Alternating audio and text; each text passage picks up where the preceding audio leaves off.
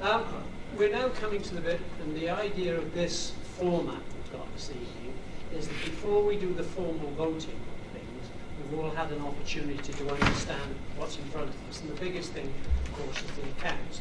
And the first set of accounts we're going to look at is the trust. And Simon is going to take us through those. Thanks, Malcolm. Uh, as you follow Graham Wesley. Certainly, certainly not that charismatic. Um, okay, this is a very unsexy bit of the night, so I'll try and fly through it a bit. Um, from the Supporters Trust perspective, um, we had income of over a quarter of a million last year, and the majority of that was, was um, your community share donations. And that accounted for over 200,000 of the quarter of a million.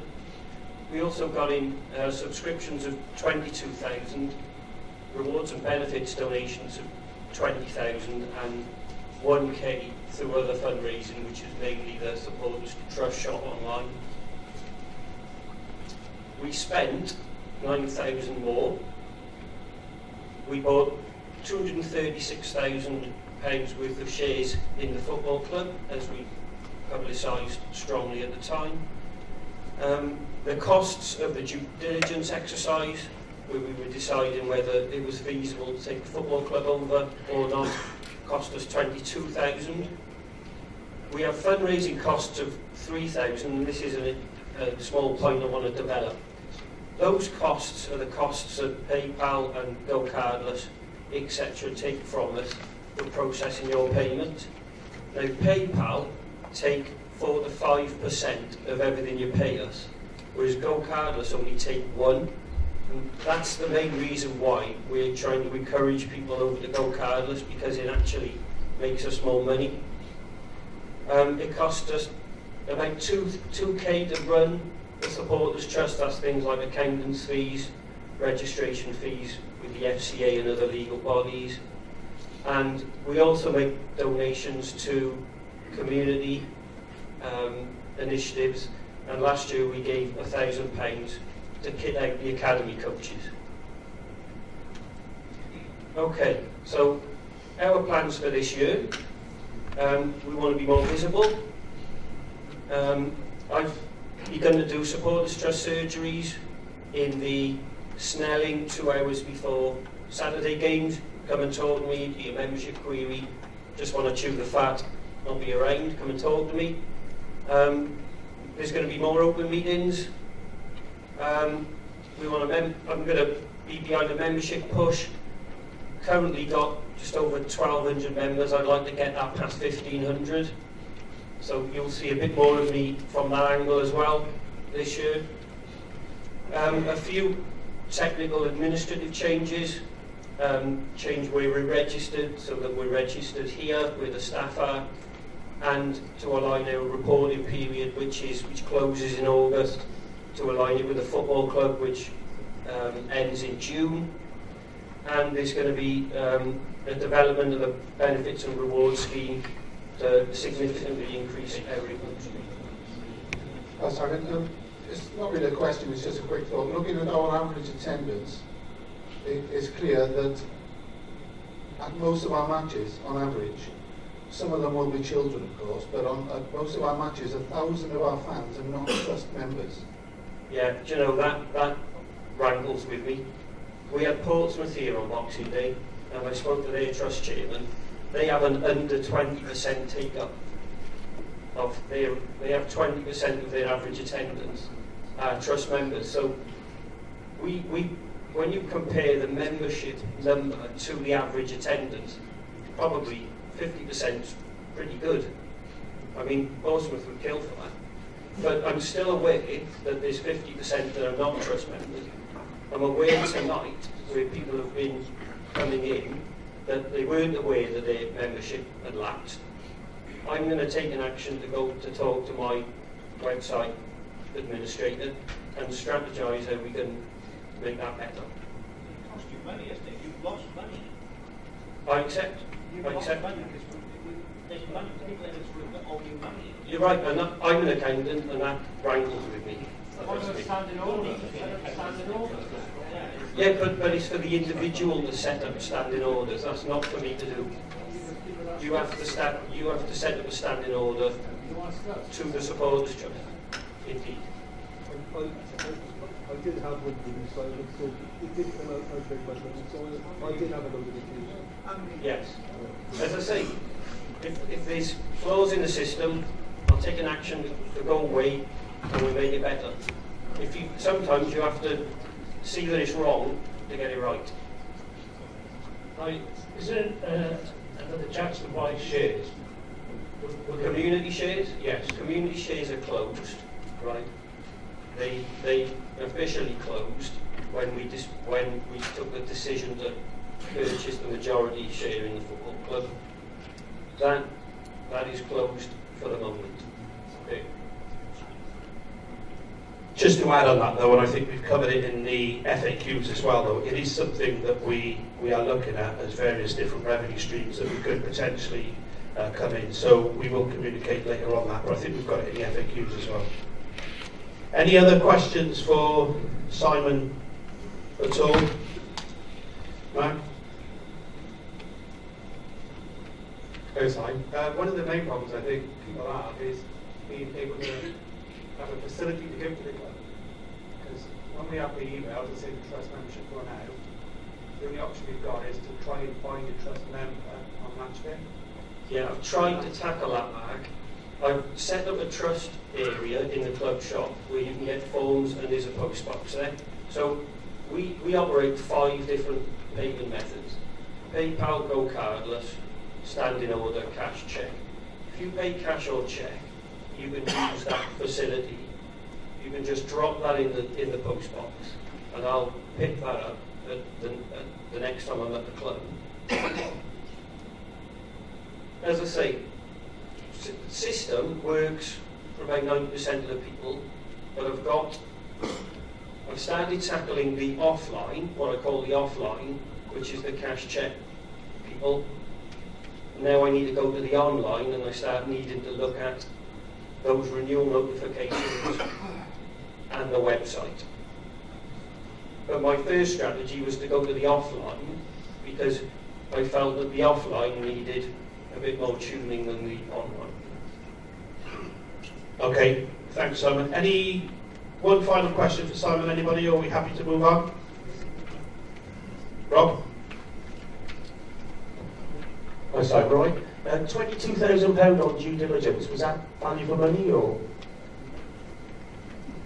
In the sense that it gave us a clearer idea of whether taking over the football club was feasible. Because I think really the decision was, could the supporters trust, or would they have the resources to stabilise the football club?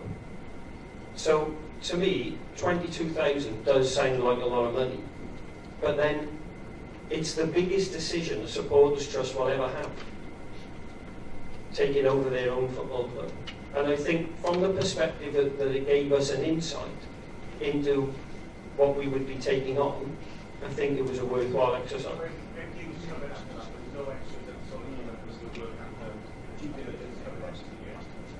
The due diligence didn't inform us of everything we needed to know, but it gave us enough to make a, a stop-go decision. I think, Rob, it depends on how you define value for money as well. I think that, uh, I understand the point you're making. I think we at the time, guided by Supporters Direct, used our best endeavours and use the experts that were part of that um, as well.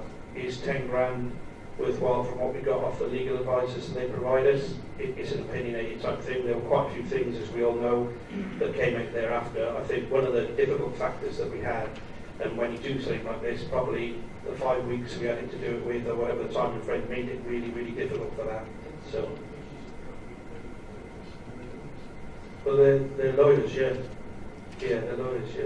yeah. They're lawyers that were uh, working for Supporters Direct. They, they, they were uh, recommended by them to us. They've done many other different clubs in terms of that. I think the big challenge we had was timing more than anything. Okay, thanks. Okay, thanks very much. If we move on then to um, the next slide.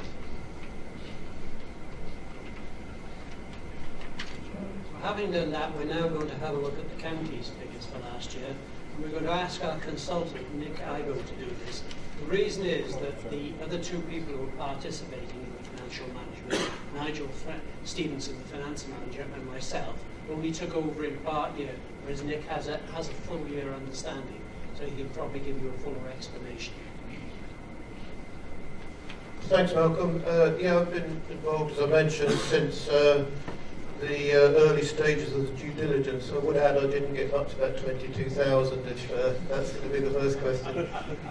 Um, I'm not only going to sort of do an overview of all of this. Um, if you all received the notice, you should have um, been advised that the accounts are up on the club website. So anyone who's interested in looking at the accounts can download them. And I think they're fairly informative for um, a club of our size. We go further than we need to in terms of disclosure, and I hope people find it helpful. So I was just going to really touch on um, three areas, just a, an overview of the trading performance, a reconciliation between that trading performance and the closing cash position, uh, and the third point is just um, taking advantage of a, a facility that the Football League give all clubs. When they started introducing um, progressively more um, strict um, financial fair play regulations, um, the rules that applied at League Two level um, was a limit on player costs relative to income, and we all have to make returns twice yearly to the league. In return, they give us a report twice yearly that benchmarks us against all other clubs. They, they don't name the clubs. Um, you get 24 sets of numbers and they say you're club 4, you're club 12. So you can see where you sit alongside other clubs and it's, it's quite helpful. Um, so th those are the points I was going to touch on. Trading performance is just a summary of the um, figures in the accounts. The, the key feature I think to note is that our operating loss, uh, 360,000 was significant, but 400,000 down on the previous year. The main reason for that is uh, a cut in player wage costs year on year. Um, there's a very, very slight increase in turnover. That was mainly because of the FA Cup run, which offset a slight reduction in income from the, the more regular streams, gate money, commercial money, that sort of thing. Um, and obviously then we had the benefit of a very substantial amount of uh, transfer fee income, 700,000, which you'll all know was um, a combination of Washington, Regan Poole and Aaron Collins. Um, moving on. So what I wanted to do was just um, summarise the, the main sources of funds into the club and out. Um, the actual result is the first column, and I've set against it some figures that people may have seen when we did a, an update to all trust members back in July, which were estimated figures. So, so there are slight movements, but that was our best stat back in July. Um, the figure for um, transfer fee income is very slightly different just because of timing of receipt of transfer fees. The trust fundraising is the um, figure that Simon would have mentioned to you. So overall, the club got 930,000, if you like, of non-trading income in. And that helped to fund settling a lot of um, exceptional debt from the previous year. Um, those of you who attended the AGM at the riverfront back in the summer, we did touch on it. Um, there was a bank overdraft, there was arrears of tax, um, there were loans to uh, from directors and from other people. Um, there were arrears just to major suppliers uh, and creditors like Rodney Parade and our kit suppliers. And we drawn down a lot of the following season's commercial income. So that 293 is trying to clear out a lot of that, uh, and that's obviously not something you have to do every year. It was a once and for all thing. Um, we also had to um, fund the, the trading loss. Um, it was 360 in the previous slide, a very slight difference because of non-cash items. And the 58,000 is um, loans, principally uh, repaying the scanning. So we ended up with a closing bank balance of 274,000, which you've seen in the accounts. Um, then th this is the third slide, and this is um, the, the thing I was talking about where the Football League provides us twice yearly with um, statistical information about club income and player costs. The figures will be very slightly different from our accounts because of the way the league presents them, but in material terms, it's the same. And you can see that there's a massive range just concentrating on this year, uh, and to some extent these are estimated figures obviously, but the lowest club is forecasting 1.7 of income, the largest club 6 million of income, and the top clubs are likely to be maybe Portsmouth, Plymouth, Luton, those clubs. The average is 3.1 million, and Newport County is 1.8, and that ranks us 22nd in the, the league table of turnover. Similar pattern in player costs. Um, the club spending the most money, 2.7 million. The least is 0.8 million. Average is 1.4, and, and we're below average at just under a million. Um, it's actually escalated very slightly since then, but that was um, set around October, I think. Uh, and in both cases, we ranked 22nd. And, you know, there is a strong correlation between wages and turnover, inevitably, that clubs can only spend what they earn. And if they try and breach uh, the limits set by the league, then the league starts imposing transfer embargoes and things like that. So you are going to see um, that there is a strong correlation.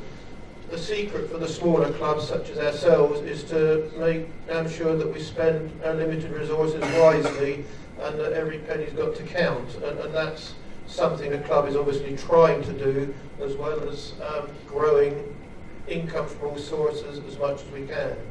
Um, and that's the challenge ahead of us. That's all I wanted to say. If there's any questions, happy to field them. I would say that we're trying to focus on last year's accounts for now, which we do ask you to approve in the main body of the meeting. If you've got questions about where we're heading in the future, we'll pick those up in the Q&A afterwards. Hi Nick. Uh, just one question. How much do we, do we actually receive from the league? Um, it's 470,000, 474, I think, from the Football League, and then I think it's about 460 from the Premier League. Yeah, it's about 900 in, Yeah. you know, yeah. And that, that's fixed regardless of league position of that. Uh, Hi Nick. Um, Is there any more um, ongoing um, transfer fees uh, with players that have gone, like the Regan Poole? Um, uh, I know the Evans went to Wolves and I don't know whether, the- uh, well, Con- Connor Washington, uh, we had all the fees involved with him now? No, there- there's some further amounts would be due on appearances. Yeah. Uh, and he's still got games to play, although I think he's injured just at the minute. Um, Colin E- Evans has gone, uh, nothing more there, nothing Right. more from Collins, I think, unless he's ever sold on. Uh, and Poole, I think there would be something if he made a debut. And Con- and Connor Washington is, we've received all the ongoing... No, no, there's some appearance. Oh, there's, there's some, okay. Yeah, Thank if he you. makes the appearances. Thank you very much. Sorry, do you have your hand? No? Anybody else got any questions? For Nick? Anybody? No? Okay. Thanks very much, Nick. Thank you.